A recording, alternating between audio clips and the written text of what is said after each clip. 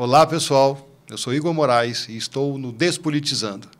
Hoje com um amigo, Fernando Mairink, pai, engenheiro, empresário e um potencial futuro vereador da cidade de Guarulhos. Fernando, com você a palavra. Olá, Igor. Poxa, Igor, que prazer. É, mais do que estar aqui enquanto um entrevistado, eu estou aqui como seu amigo. Esse programa realmente eu tenho certeza que vai pegar e vai ser um programa muito importante, não apenas para esclarecer quem são as pessoas que estão envolvidas com a política, mas para que a gente possa ter essa troca, mostrar que por trás de um político tem sempre uma pessoa, né? Parabéns pela iniciativa, é um grande prazer estar por aqui. Ah, obrigado. E, e, a gente quer isso, né? A gente quer que você realmente seja você, a gente quer conhecer um pouco mais de você. E quando eu falo a gente, eu, o público que está em casa, que está vendo a gente aqui, né, vocês também querem conhecer um pouco mais sobre o Fernando.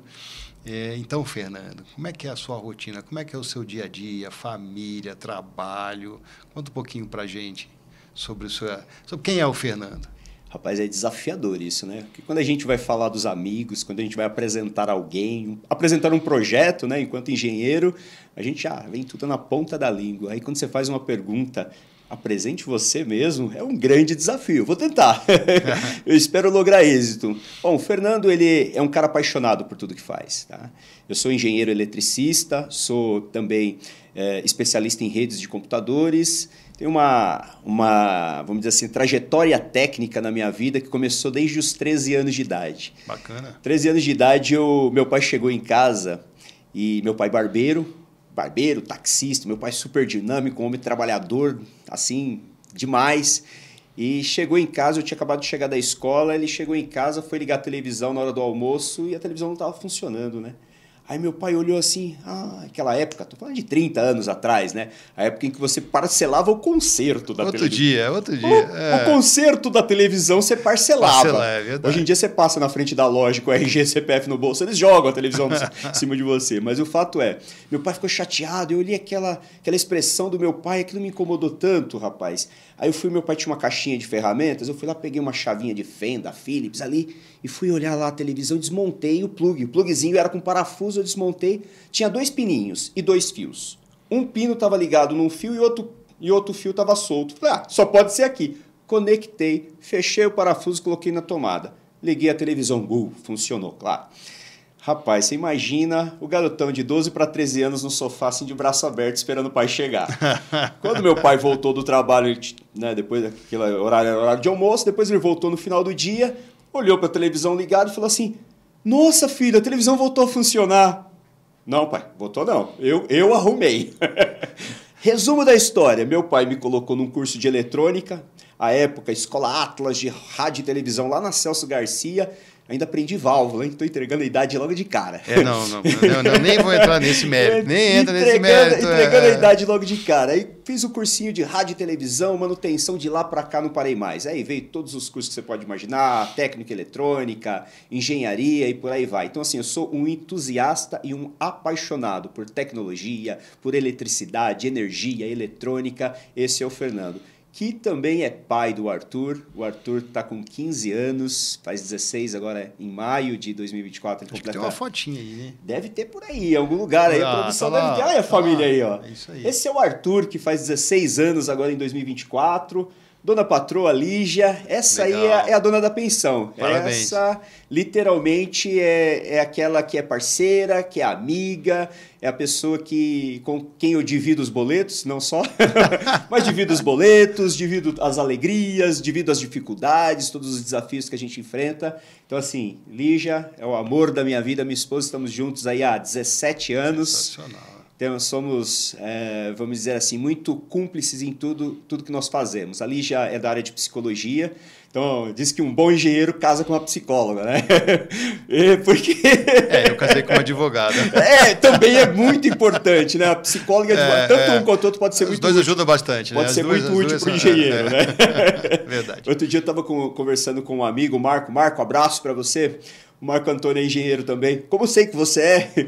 E eu tava, eu tava dizendo, Marco, O, o, engenheiro, na verdade, a gente traz aí essa, esse estereótipo né, do cara que resolve problemas, né? Toda hora alguém da família chama você para resolver alguma coisa, ali consertar, resolver. Pô, você é engenheiro eletricista, o cara te chama para resolver um problema da mecânica do carro, né? Mas você é engenheiro, é, você, engenheiro, você sabe. Engenheiro. Mais ou menos isso. E aí eu falei pro Marco, não, mas a gente tem esse estereótipo de ser o cara que resolve problemas, né? Aí o Marco falou assim, é, nem todos, né? Tem uns engenheiros que traz mais problema do que resolve. Eu falei, é, para esses, tem aí a, a, as advogadas, as psicólogas para ajudar. Para ajudar o desenvolvimento deles, né? Mas é, é, bem isso mesmo, legal. Mas legal. esse é o Fernando, eu sou um cara apaixonado por tudo que eu faço. Eu tenho uma empresa voltada para a área de negócios, né? Negócios tanto negócios de engenharia como negócios como um todo. Minha empresa é especialista na formatação de negócios, nós desenvolvemos planos de negócios para grupos empresariais e também atuo na área de engenharia como consultor. Apaixonado por tudo e é aquela história, né? a gente não, não, não, para, não desliga, né? 24 horas no ar, aí você termina, você termina o seu expediente ali na empresa, aí te liga um amigo, ó, oh, eu tô com um projeto aqui, você vai até 10 horas da noite falando com um amigo e por aí vai. Então, assim, a gente não. É, muitas das vezes eu percebo que, por mais que possa ser salutar, possa ser saudável, a gente dividir a vida profissional, aquilo que, que você faz no âmbito profissional, não levar para casa, em casa é o lugar de curtir a família e tal. Mas assim, quando você é apaixonado pelo que você faz, você envolve até a família. Às vezes eu chego em casa, chamo o Arthur, chamo a Lígia, eu vim cá, olha que projeto legal que entrou hoje na empresa e começo a conversar com eles. Quando a gente vê, estamos jantando e eles dando dica para mim. Não, mas por que você não vai por esse outro caminho aqui e tal? E assim vai. E esse é, é o Fernando, apaixonado pela família, apaixonado pela profissão, por tudo que faz. Eu sou um entusiasta de tecnologia, como eu disse, procuro estudar muito, me preparar muito, me capacitar bastante para tudo que eu me proponho a fazer. É, eu vi uma palestra sua lá na SEAG de Guarulhos. Ah, que legal, que é, legal, a SEAG. É. A tua, acho que tem uma fotinha também da tua, da tua empresa aqui, da, da, da Stark. Stark. Stark. É isso aí. É, tá Esse lá. é o escritório da Stark, lá onde a gente desenvolve os projetos aí voltados para a área de energia, projetos voltados para uma série de setores, né? Porque a Stark ela faz parte de um grande grupo, que é o Grupo uhum. Nela, onde a gente tem aí outras segmentações de mercado que a gente atua, mas a Stark seria o braço tecnológico, o braço de engenharia de todo o grupo. Aí lá no grupo você vai ter transporte, você vai ter tecnologia, você vai ter mercado financeiro, você vai ter uma série de segmentos de mercado, porém tecnologicamente e engenharia amparados pela Stark. Pela Stark. Então Exato. você apoia os projetos de, de, de, de, várias empresas do grupo Exato. no lado tecnológico. Aliás, estava me falando de alguma coisa de uma planta de, de energia solar. Exato. Nós estamos desenvolvendo atualmente um projeto na cidade de Guaribas. A cidade de Guaribas ela fica no, no interior do estado do Piauí e Guaribas ele é uma, é uma região que ela ficou marcada por aquele programa Fome Zero do governo uhum. federal começou ali naquela uhum. região. É uma das regiões mais pobres do país, onde tem uma necessidade de desenvolvimento de, de IDH, desenvolvimento humano como, como um todo, é, muito grande, né? E por isso nós escolhemos aquela região. O grupo adquiriu uma área muito grande, uma área de 5 mil hectares inicialmente, e está negociando outras áreas adjacentes para que a gente possa implementar uma unidade produtora, uma planta de produção de energia solar fotovoltaica. Ou seja, a gente vai produzir um gigawatt lá no, no interiorzão do Piauí. E vai entregar para a própria cidade, para a região. É que tá, aí é que tá. A gente tem hoje um, uma das, das grandes conversas atuais aí no, no mercado de energia é o hidrogênio verde, né? E o hidrogênio verde nada mais é do que hoje estão chamando aí de combustível do futuro. Mas como é que eu produzo hidrogênio verde? O estado do Piauí, por exemplo, ele está uma série de iniciativas voltadas a se tornar uma das referências aqui no Brasil, né, em todo o continente americano, na produção de hidrogênio verde. Mas o hidrogênio, para ser classificado como hidrogênio verde, ele precisa ser produzido com uma matéria-prima que é energia, né? porque o processo de produção do hidrogênio é por hidrólise, mas a matéria-prima e energia ela precisa ser limpa, precisa ser uma energia limpa e renovável para que ele seja categorizado como hidrogênio verde. Ele é hidrogênio como a molécula de hidrogênio, como você conhece. Só que o que vai dizer se ele é azul, cinza ou verde é a fonte de energia com a qual ele foi produzido. A forma como, é, ele, então, é, como ele é separado. Exatamente. Então, face a essa, essa demanda aqui, que é latente, muito grande lá no estado, a ideia da planta é entregar energia para produtores que já estão implementando fábricas, né, estão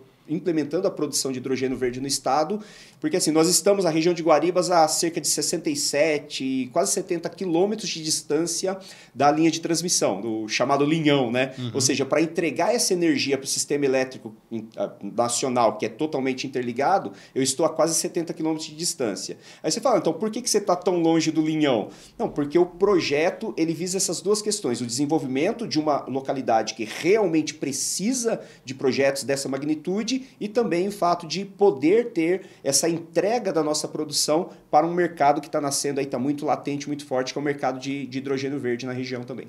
Legal, legal, bacana. E você está sempre, na verdade, na tecnologia de ponta, né? Sempre olhando para aquilo que é uma necessidade e entregando um resultado ali através da sua empresa e do, desse grupo de, de empresas que, que realizam essas ações. Né? Exatamente. Né? Você falou de tecnologia, eu vou citar um amigo, mandar um abraço, Juarez Guerra, do, da Finder Componentes, a Finder Brasil. Juarez Guerra tem uma, uma frase, grande amigo, trabalhei 10 anos com ele, que, que assim é marcante para mim, que é ninguém segura a tecnologia. É exatamente isso, ninguém segura a tecnologia. Eu acredito que quando a gente tem esse olhar visionário, quando a gente não tem medo de empreender, quando a gente busca né, estar na vanguarda de tudo que está acontecendo, das duas, uma, ou você é beneficiado porque você saiu na frente, aí você pode ser comercialmente é, beneficiado, ou é legado. É legado, você abriu o mercado, você criou situações, você foi empreendedor em toda a extensão da palavra. É entendo um pouco dessa, dessa questão do legado, legal. É, mas só que aí para você ter isso tudo, você está nesse, nesse, em todas essas tarefas diárias tuas, você, como é que é o teu, teu dia a dia fora dessa, dessa questão profissional? Como é que é família? É, seu final de semana. Fala um pouquinho para a gente, a gente precisa conhecer um pouquinho mais do Fernando. Já, já, entendemos que você é tecnologia de ponta, e, e aí eu eu sei de engenheiro também, sou, sou apaixonado por isso. É, e aí conta para a gente um pouco mais do seu, do, da, de como você você desconecta um pouco desse mundo, que esse mundo de engenharia ele é puxado, é bacana, é gostoso, mas ele é 24 horas, né? É, literalmente. Quando a gente, como eu falei há pouco, né, a gente chega em casa e não consegue desligar, né? Uhum. Isso vai do perfil da gente como um todo, mas também a a própria, a, próprio, a própria engenharia, a própria tecnologia exige essa coisa de estar sempre antenado, né? Mas o Fernando quando ele não está trabalhando, quando ele está com a família, ele é um cara que gosta de filme, é um cara que gosta de música. Eu sou muito eclético para a cultura. Eu não, não, tenho, não tenho aquela visão de cavalo, sabe? Fechadinha. Não, eu gosto disso aqui, o resto não presta. Não. Eu, se não me serve, pelo menos eu ouço para ver como é. Tanto para música, para filme. Eu gosto muito. A gente, final de semana, é, assiste muito filme em casa. É, eu e o, o, o, Arthur e a Lígia, a gente gosta muito, muito de, de compartilhar momentos. Às vezes na praia, viagem, tudo isso, tudo que uma família normal, em tese pelo menos, deveria fazer, a gente procura fazer. Mas eu gosto bastante de ler, eu gosto bastante de escrever. Eu escrevo texto a, até sem necessidade. Eu amo escrever, sabe? Vem uma ideia na cabeça, eu olho aqui e vejo esse copo. De repente me vem uma ideia, nossa, o copo com água sobre a mesa preta cria uma sombra. E começa a escrever. Quando eu vejo, tem três, quatro páginas de, de uma escrita que eu não vou usar em lugar nenhum, mas eu escrevi aquilo, eu coloco para fora sentimentos e tal. Então, assim, uma das coisas que me leva, assim, no, no momento que eu não estou trabalhando, que eu estou ali, ah, o que, que você está fazendo para passar o tempo? Eu estou escrevendo muitas das vezes. É, eu vou até te fazer essa pergunta, o que, que te desafia? E aí eu fiquei tentando imaginar uma série de, de coisas, assim, carro, moto, avião, viagem, montanha, praia. Não, é escrever. Escrever, é escrever. O que e te assim, desafia é escrever. A gente tem, eu sou cristão, a gente tem um, um, ministério que nós, nós frequentamos, nós congregamos, né, eu e minha família, que se chama Ministério Gerações. Por que gerações? Gerações tem tudo a ver com família. Então, gerações é desde o filho, o casal, a terceira idade, gerações como um todo. Né? É um, é um ministério focado especialmente em famílias. Reconstrução, dá todo o suporte, todo o apoio espiritual para reconstrução de famílias que precisam disso e para manutenção né, do conceito de família conforme a gente acredita e conforme a palavra de Deus nos, nos ensina. E nos finais de semana eu também ministro a palavra de Deus. Eu sou um pregador no, no, no ministério, sou uma das pessoas que tem o, o privilégio de, de ministrar a palavra de Deus, que é um outro desafio. Porque uma coisa é você ter um entendimento para si, né? Isso serve para o pastor, para o padre, isso serve para o professor, isso serve para o palestrante, para o coach, para todos que têm que absorver um conhecimento e depois transmitir esse conhecimento. Porque a gente acaba sendo, de certa forma, uma espécie de filtro. Né? Só que esse filtro de informações absorvidas, a gente tem que ter todo um cuidado para não deturpar o, o, o, verdadeiro significado daquele conhecimento, né? Então, assim, é, é algo que é desafiador também, aprender sobre a palavra de Deus. Então, muitas das vezes, no final de semana, eu estou ali estudando a Bíblia para, no domingo ou numa terça-feira, estar tá ali no, no, no, no, altar transmitindo esse conhecimento. Vamos ver você no, nessa, nessa posição de... Ah, isso aí a gente está cuidando aí da, da multimídia, né? Fazendo a parte do som... fazendo aí toda a parte de transmissão dos cultos. Isso lá na, na... E aí, olha aí, no Ministério Gerações, fazendo aí uma, uma ministração, pegaram uma pose aí que eu tô olhando pro alto, ó. acho que tô falando até Você com o papai Você devia estar dando aí, uma ó. bronca ali. Tô dando uma bronca, falando com o papai, porque é. eu tô olhando pro céu ali, gente. Tá com uma cara ali, assim, alguém, alguém estava tá, tá puxando a orelha. É. E assim, a gente, a gente tem essa, essa, essa incumbência e, e faz com muito amor, com muito prazer. Porque dentro do Ministério Gerações, além de estar tá ali transmitindo conhecimento sobre a palavra de Deus, focado na palavra de Deus, a gente também tem outros trabalhos. A gente tem ali uma, na verdade, dentro do Ministério, o Ministério Social, ações sociais. A gente trabalha também com o social da comunidade, Pra você ter uma ideia, já vou pedir ao vivo aqui pro, pro seu público, manda, manda tudo aqui para Vem TV, tá? Depois eu dou um jeito de buscar. A gente tem uma, uma ação social no, na igreja onde a gente reúne tampinhas, tampinhas plásticas, tampinha de, de garrafa PET, tampinha de shampoo, tudo isso. A gente tem uma meta desafiadora. Eu tenho que todo mês juntar uma tonelada de tampinha para conseguir um recurso que acaba sendo revertido em bíblias que são distribuídas para a comunidade, cesta básica para as famílias ali da igreja ou da comunidade que estejam passando por algum tipo de necessidade. Então é um trabalho social que a gente faz. Manda para vir TV as tampinhas aí que a gente resolve lá depois. Não, aí legal. você vai brigar comigo agora. Não, brigar eu não vou, mas vamos, a gente vai pensar, no, a gente vai pensar no, no, no, nesse formato que, é, que isso é muito bacana é, de um modo geral, está sendo visto no Brasil inteiro, vai ter, vai ter dificuldade para algumas pessoas mandarem. Mas na região de Guarulhos, a gente. A gente vai colocar aqui embaixo no descritivo. Isso, coloca é, o endereço da, da, da, igreja ali do Ministério. Isso, os endereços gente... que você pode mandar, mandar Perfeito. aqui para Moca, se estiver em São Paulo, pode vir aqui para Moca ou manda lá para o Ministério. E aí. É, vocês vão ajudar bastante ao, ao, Fernando nessa distribuição das Exatamente. Das a, gente tem, a gente tem aí esse, esse cuidado com, com o social, porque assim, a gente falar, eu gosto, eu sou uma pessoa, eu acho que engenheiro é, acho que é muito de engenheiro também esse perfil, de o engenheiro, Hebreus 11, 1, lá na definição de fé, fé é aquilo que você não vê, né? Sendo bem sucinto na definição. Mas eu acho que bem é a vida do engenheiro, né? O engenheiro é aquele cara que vê tudo antes de acontecer, né? E a gente tem muito essa questão do aquilo que eu projeto, aquilo que eu planejo, executar, né? Então não adianta nada eu estar no altar falando de, de moral, de princípio, de costume, de valor, e olhar para o lado vizinho da igreja, tem uma comunidade lá onde tem família passando fome. Peraí, é, não é só o discurso, não é só a teoria, não é só o projeto, é a execução. Muitas das vezes, é, o, tem uma frase que eu acho fantástica, né? o pessoal fica procurando a maneira perfeita de fazer uma ação social, a maneira perfeita de ajudar alguém. Gente, o feito muitas das vezes é melhor do que o perfeito. Ainda mais quando é uma boa ação, né? Exatamente. Perfeito. Então a gente procura aí o, o, que a gente o que a gente leva na teoria, o que a gente propaga em termos de discurso, praticar. Eu acho que eu, isso é um, é um valor que eu, que eu costumo prezar bastante. É, então, então aí vem uma, aquela pergunta que, que realmente a gente quer saber de você, é, e aí é do coração, é do fundo do coração.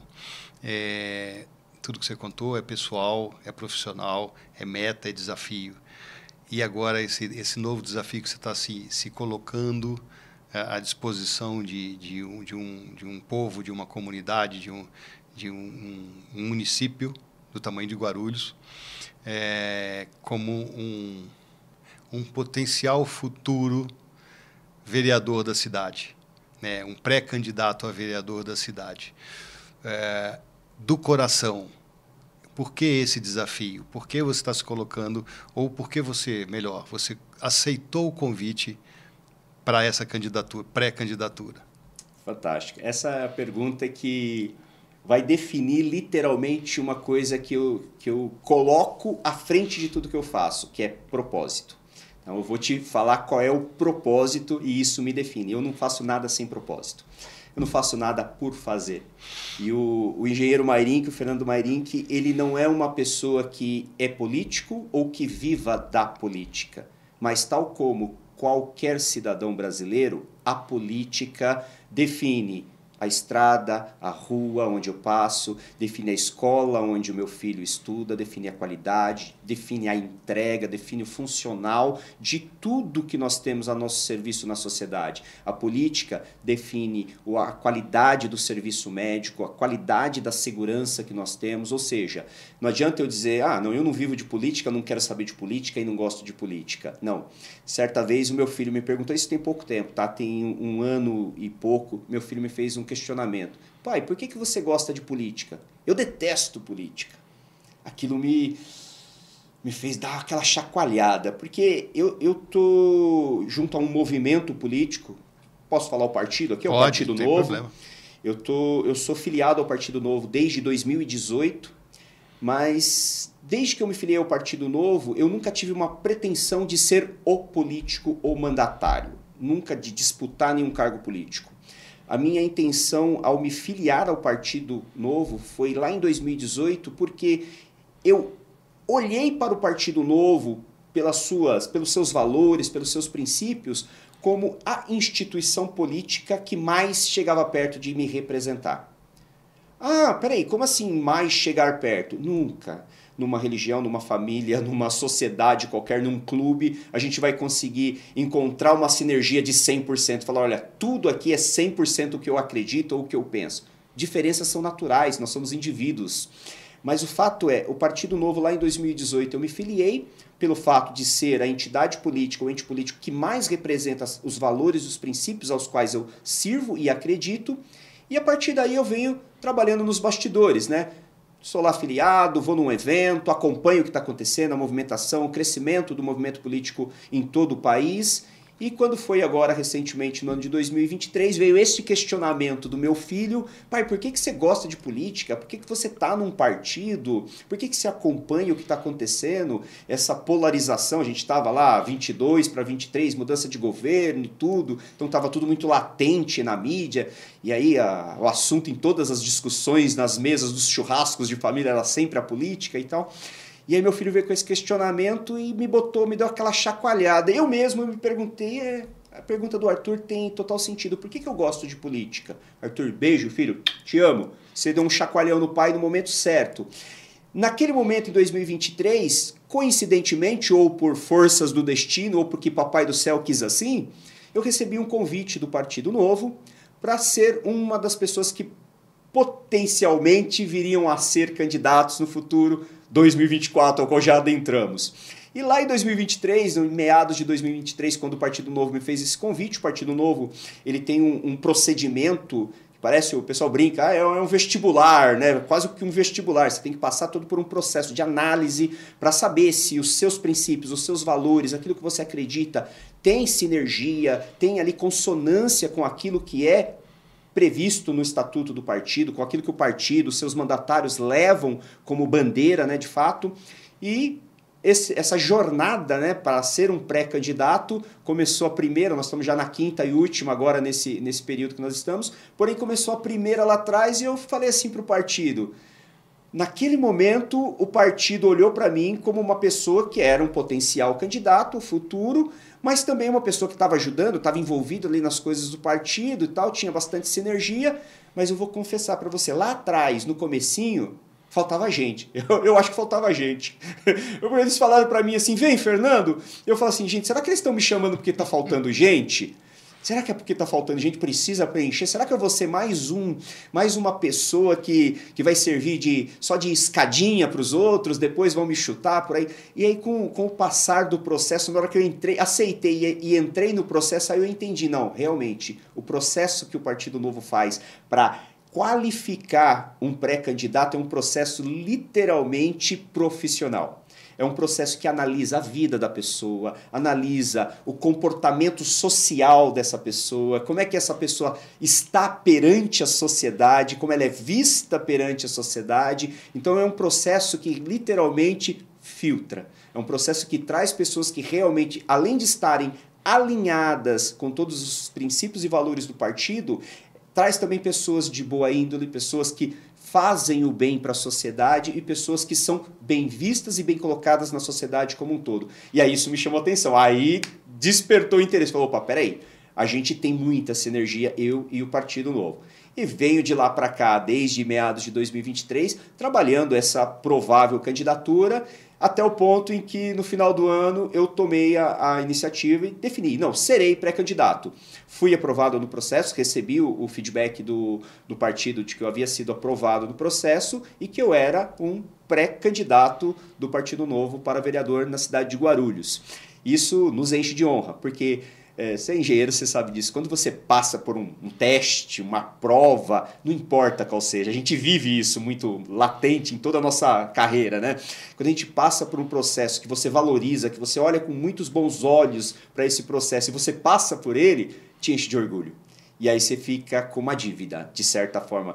É o que aconteceu comigo. Eu olhei para aquele processo e falei assim: peraí, o partido está acreditando na minha capacidade, o partido está acreditando que eu tenho algo para levar enquanto engenheiro, enquanto profissional, com quase, a entrega a idade, quase 30 anos de, de carreira na área técnica. E aí a gente olha para Guarulhos, a gente olha para uma cidade que a gente tem aí um milhão e meio de habitantes, povo guarulhense meu beijo, sou guarulhense, nasci em Guarulhos, amo essa cidade, corre na minha veia que meu pai, ele foi barbeiro na Avenida Monteiro Lobato por 40 anos. Ele começou uma barbearia na Avenida Monteiro Lobato, em frente ao Adamastor. Sei. Sabe quando? Quando ele jogava duas horas bola na, na Monteiro Lobato não passava um carro, porque também não tinha um freguês que tinha acabado de abrir a, barbe a barbearia. Mas jogava bola duas horas na Monteiro Lobato. Hoje você não consegue atravessar. Então, assim, o a gente conhe... ali, hoje em dia é um inferno. A gente conhece Guarulhos, a gente nasceu, eu nasci em Guarulhos, vivo 46 anos, agora eu falei a idade de verdade. vivo 46 a 46 16 anos em Guarulhos e a gente ama Guarulhos. E aí a gente olha para o convite do Partido Novo, para a capacitação que o partido se propõe a nos apresentar, porque eu não sou político. Eu não, não, não tenho formação política, minha formação é toda na área técnica e na área de gestão. Mas aí o Partido Novo nos capacita, nos traz toda uma capacitação para ser, se eventualmente for a vontade do povo de Guarulhos, ser um, um vereador no futuro, nos capacita para tal já nesse processo que antecede a eleição e confia que possamos chegar lá e fazer um bom trabalho e, e, e levar essa bandeira de honestidade, de princípios, de valores, de família para a Câmara Municipal em nome do Partido Novo. Aí o partido confia isso a mim, né, como um pré-candidato né, nesse sistema de aprovação, e aí eu não tenho como falar não, né? Aí a gente olha para Guarulhos que a gente ama, a gente olha para as demandas da sociedade, sejam elas as mais diversas.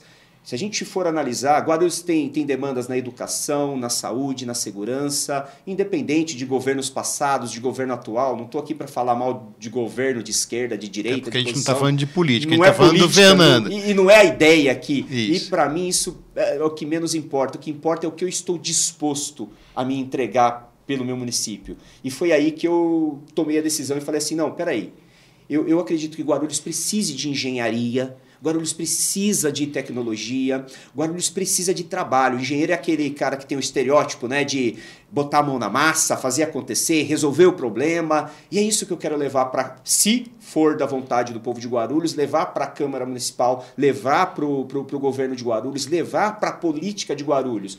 Braço disposto a trabalhar braço disposto a executar. Eu não, o meu salário não, não, vem da política. É claro que se for da vontade do povo e um dia eu vier a ser um vereador em Guarulhos, eu terei um salário. Esse salário vai pagar pelo trabalho que eu vou executar. Isso é o natural. Mas não é desse salário que eu vivo mesmo, porque se eu não for eleito, eu não tenho ele. Eu tenho minha empresa, eu tenho meu trabalho e eu vivo do meu trabalho. Mas eu, por causa do propósito. Eu, por causa daquele chacoalhão que meu filho me deu com aquela pergunta: pai, por que, que você gosta de política? Com aquele chacoalhão que me fez pensar, somado à confiança e à credibilidade que o Partido Novo depositou no engenheiro Mairink, aí a gente junta tudo isso e forma o contexto do porquê eu quero ser candidato, hoje um pré-candidato, mas porque eu quero vir a ser um candidato e potencialmente um vereador em Guarulhos, porque eu quero levar para a Câmara Municipal, eu quero levar para a política de Guarulhos braço para trabalhar, braço para executar. Acho que, é, sem demagogia nenhuma, acho que todo pré-candidato, todo candidato a um cargo eletivo, ele vai, vai prometer mundos e fundos. Eu não tenho nada para prometer. Eu tenho para entregar. O Fernando, esse que eu sou com a Lígia, esse que eu sou com o Arthur, esse que eu sou com a minha comunidade no Ministério Gerações, esse que eu sou com a sociedade guarulhense. Esse Fernando Mairink, esse engenheiro Mairink, esse que está lá palestrando na SEAG, que você falou há pouco aí, um abraço pro, pro meu irmãozão aí, o Ricardo França, presidente da SEAG, que é a Associação dos Engenheiros lá de Guarulhos. Ó, palestrando lá na SEAG, isso foi recentemente lá. Esse eu estava lá também. Então, a gente tem esse orgulho aí de estar de tá sempre disposto aí para servir a sociedade. Eu não ganho nada para dar uma palestra técnica lá na SEAG, mas a gente faz troca. É lá que eu te conheci, inclusive, né? Quando a gente se conheceu já tem um tempo, já foi lá Verdade. na SEAG. Então, assim, é, essas trocas, toda essa movimentação de tudo aquilo que eu construí em 30 anos, aprendendo engenharia, aprendendo eletrônica, elétrica, aprendendo gestão de negócios, por que não levar tudo isso para a vida política e servir Tal como eu sirvo a minha, a minha comunidade na igreja, tal como eu sirvo a minha família em casa, por que não servir também a sociedade guarulhense? Eu acredito muito nisso. Quando a gente, eu acredito muito que o universo trabalha com, com trocas, sabe? Quando a gente entrega, a gente recebe. A palavra diz que mais bem-aventurado o que dá do que o que recebe. E é bem isso. Porque eu acredito que gentileza gera gentileza, honestidade gera honestidade, coisa boa vai gerar coisa boa é impossível, ela é inatural. Se você plantar semente de mamão, você não vai colher banana. Se você plantar semente de mamão, você vai colher mamão. Perfeito, Essa que é a questão. Então é, é, nisso que eu acredito e é isso que me motiva. Eu não sei se eu respondi a sua pergunta, você, você mas eu acho que é isso. É, você respondeu. Uh, por quê? Porque conhecendo você, né, a gente se conheceu no ambiente de engenheiros, é, quando, quando você me falou que era um pré-candidato, eu falei, caramba, eu preciso saber o que, que passa na cabeça do Fernando. Porque a gente sabe que fazer política não é fácil. De fato. A gente sabe porque a gente ouviu falar, a gente sabe porque a gente vê televisão, a gente vê jornal, a gente vê, a gente vê o dia a dia. Né? A gente vê uma série de, de problemas que, que, que aparecem em função de, de um, um, vamos chamar assim, de uma distorção da política. E aí, de repente, eu vejo uma pessoa como, como você, que eu conheci, a gente, a gente conversa sobre projetos, sobre outras coisas, e aí você, pré-candidato, eu falei, ah, não, eu preciso saber o que está passando na cabeça do Fernando. E aí, o que eu, o que eu acho bacana é, é que eu estou aqui para ouvir você, mas em relação ao que você falou, é, é um desafio. É, é, fazer por mais pessoas aquilo que eu já faço dia a dia dentro do seu ministério, você já faz para algumas pessoas. Você conseguindo replicar o que você faz ali, numa, numa vereança, num, num mandato de quatro anos, você, você vai conseguir multiplicar isso por mais pessoas. Só, só não acho que você não vai ter vida fácil, você vai ter vida difícil. Mas é, é porque não é fácil, não é fácil é, a política, eu imagino que seja um, uma posição, o político seja uma posição muito complicada. Até por isso que a gente não fala de política, a gente fala do Fernando, né? E, e, e, assim admiro a sua seu posicionamento que você está se colocando pré-candidato, aceitou o convite e, e dou os parabéns para você por, por, essa por encarar esse desafio. Esse desafio. É, e como amigo eu torço que você esteja lá, como amigo e como e como cidadão guarulhense, né? Que você esteja lá, porque eu acredito que você vai fazer um bom trabalho estou puxando teu saco, não, tá? Não, mas o fato, o fato, Igor, quando a gente se dispõe a um desafio como esse, acho que é importante frisar o seguinte: é, você definiu muito bem agora o, o, propósito, né, que eu falei há pouco. O propósito é pegar o, o que o engenheiro Mairink, o que o Fernando Mairink entrega hoje para uma pequena parcela e potencializar isso de maneira que a gente tenha a chance de entregar para uma parcela maior da sociedade a mesma dedicação, o mesmo trabalho, o mesmo empenho. Eu quero que o Arthur, esse que me perguntou Pai, por que, que você gosta de política? Eu quero que daqui a 10, 15, 20, 30 anos ele olhe e fale assim: olha o legado do meu pai, olha o que meu pai construiu e ele olhe com orgulho.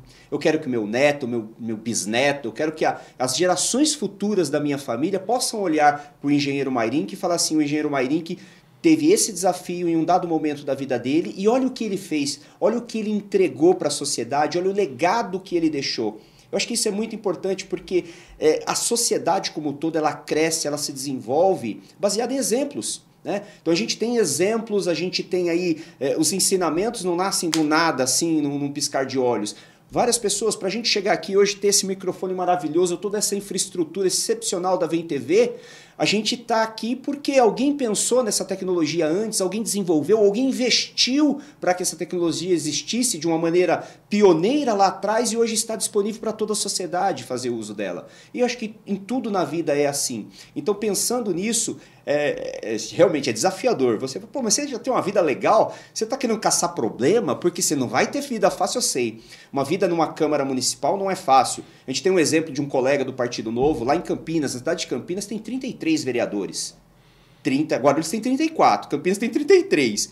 33, 32 estão passando por um processo de investigação, vamos colocar assim. Eu não quero entrar muito no, no político, mas é. processo. 32, só um não tá, e esse é do Partido Novo. É, esse tipo de coisa me, me, me dá injeção de ânimo, sabe? Olhar que eu não estou numa instituição, eu não estou num movimento político em que converse diferente do que eu converso, que pense diferente do que eu penso. Então eu jogo tudo isso no pacote e aí está a minha motivação de seguir esse grande desafio. Bacana. E é, e é por isso que a gente está falando um pouco de política aqui também, porque nesse caso especificamente do, do Fernando, é, ele está entrando agora né? Então tem toda essa motivação também em função do convite do partido.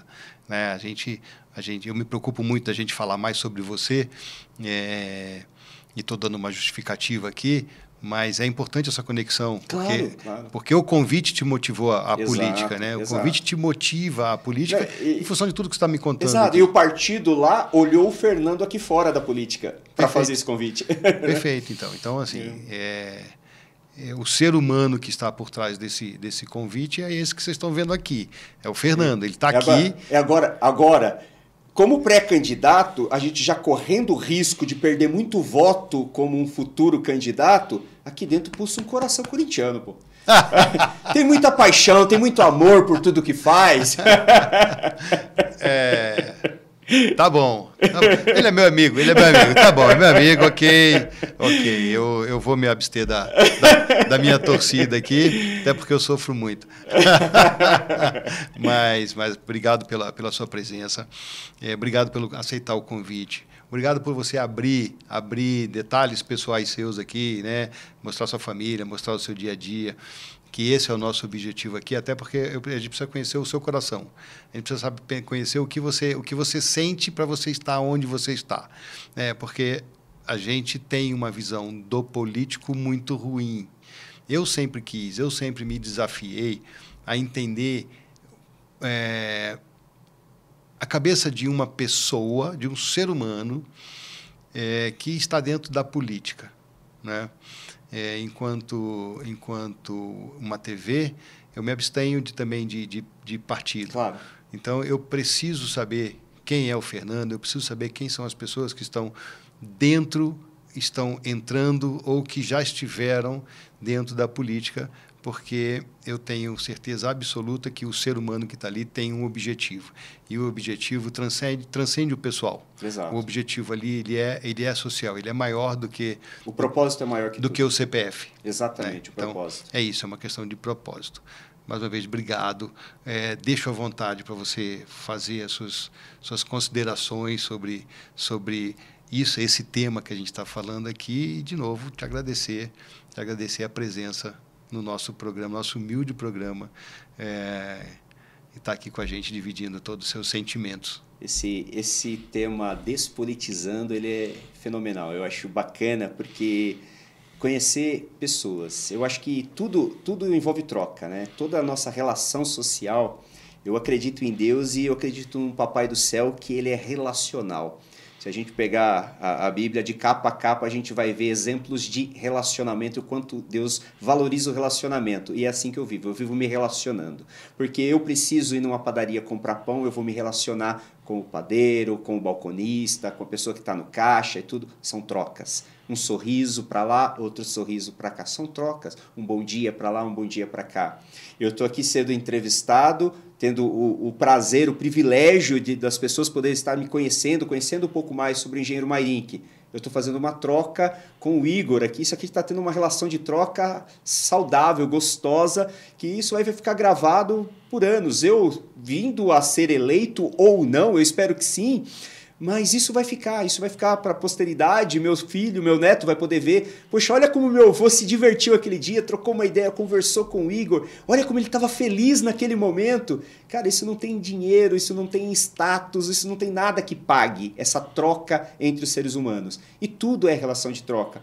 O problema é que muitas das vezes as pessoas deturpam os valores e acabam desequilibrando a balança dessa troca. Isso é, isso é muito ruim, isso é doentio. Mas quando a gente tem uma relação de troca que é saudável, onde a gente troca ali literalmente as mesmas emoções e energias ali na mesma frequência, a gente oscila, falar na nossa linguagem técnica, a gente oscila na mesma frequência, isso é excepcional. E é disso, é disso que eu falo, esse é o Fernando, é isso que me define. Uma pessoa que é, que é emoção, que chora, eu choro, eu sou chorão. Igor, você não faz ideia.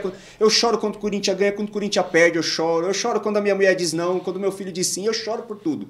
Só não sei como eu não chorei aqui até agora. Acho que você foi, você foi bem delicado e tranquilo com as perguntas aqui, não me fez chorar, mas eu sou chorão. E, e é isso, a, a, vida, a vida é feita de, de momentos que, que vale a pena a gente viver. Né? Cada momento a gente tem que colocar é, a energia necessária para ele valer a pena, para ele ser justificável no amanhã. É, e é assim que eu vivo. Então, assim, eu não estou aqui para dizer, ei, vote em mim, mesmo porque nem candidato sou ainda. A gente está aqui batendo um papo informal de apolítico até, né? Mas o fato é, se eu vier a ser vereador, o cara que vai estar tá lá na Câmara dos Vereadores de Guarulhos é esse mesmo cara.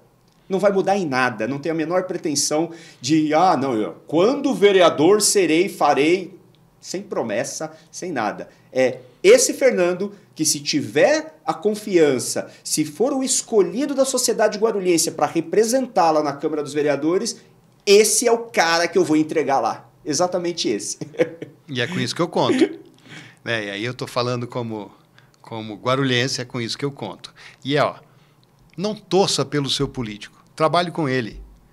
Essa questão de hoje, a, as pessoas estarem misturando futebol com, com política, isso está tá, é, distorcendo também a questão do, do, do trabalho do político. Né? O político não precisa de torcida, o, o político precisa. Eu estou fazendo aqui a minha vez nesse programa. Claro. Mas o político precisa, precisa de pessoas que trabalhem com ele, né? que, que mostre, que denuncie, que ajude, que informe, que, que, faça, que faça junto. Um, um político sozinho não resolve nada. Mas ele não precisa de torcida, ele não precisa de ninguém gritando a favor nem contra. Ele precisa de alguém trabalhando com ele. É isso, é com isso que eu acredito que um político conta. Verdade. Quando a gente, quando a gente olha para um, um, vereador, por exemplo, vai, que é o, o, o, primeiro nível ali dos cargos eletivos, ali, a gente tem ali. Qual é o papel do vereador, né? Será que a sociedade já se perguntou? Será que as pessoas que estão nos assistindo já se perguntaram? Peraí, para que serve um vereador? Pô, tem 34 em Guarulhos, para que serve? O que, qual, que, que ele faz? Qual é o papel dele? É só fiscalizar o, o trabalho do, da prefeitura? Né? Porque muitas vezes a gente vê na rede social um vereador lá, oh, o prefeito fez, o prefeito não fez e coisa e tal. Mas não, o papel do vereador é sim ser um fiscal do executivo, mas é também legislar, é também trabalhar pela sociedade para o atendimento das demandas. E esse atendimento da demanda vai passar por uma série de conhecimentos, de necessidades técnicas que precisam ser atendidas. Então, o, o papel do vereador é trabalhar, é ir para a rua, é ouvir a sociedade, ouvir as instituições, é fazer essa troca com a sociedade para entender quais são as demandas e saber qual a melhor alternativa e solução técnica para cada uma dessas demandas. Esse é o papel do vereador. Então, quando a gente olha para um, um vereador, a gente tem que olhar como funcionário. Eu olho para o vereador que eu votei e está lá me representando na Câmara como meu funcionário. Já disse que o meu foi eleito, né? Só nessa fala. Mas o, o fato é, eu olho para ele, bom, essa pessoa eu escolhi para me representar aqui. Ele é meu funcionário. O imposto que eu pago está sendo de alguma parcelinha ali revertido em salário para ele. Então ele tem que trabalhar para os meus interesses. E quais são os meus interesses enquanto cidadão? Os meus interesses enquanto cidadão é ter segurança, é ter educação, é ter saúde. Basicamente, esses são os três principais pilares. O resto mais da, das demandas vão derivar desses três em especial. Mas o fato é, ele está lá para brigar por isso aqui, para me atender em todas essas demandas. Então, acho que a gente tem que olhar para o vereador não como a gente olha para o Corinthians, para o Parmeira, para o São Paulo, para um time de futebol, igual você colocou muito bem. A gente tem que olhar para ele como uma pessoa que está lá para me servir enquanto um profissional. Ele foi eleito, é como se ele tivesse apresentado o currículo durante a campanha. Eu coloquei ele lá para trabalhar para mim e agora ele recebe um salário para trabalhar. Ou seja, o que, que eu tenho que ter em troca? Produção. Produção. É simples assim, ele tem que produzir, ele é tem isso. que trabalhar. Perfeito. Obrigado pela sua presença, obrigado pelas suas palavras, obrigado por abrir quem é o Fernando com a gente. É, contamos com você, se eleito, na cidade é, e acreditamos que, que a gente pode fazer uma cidade melhor, despolitizando. Vem com a gente. Obrigado.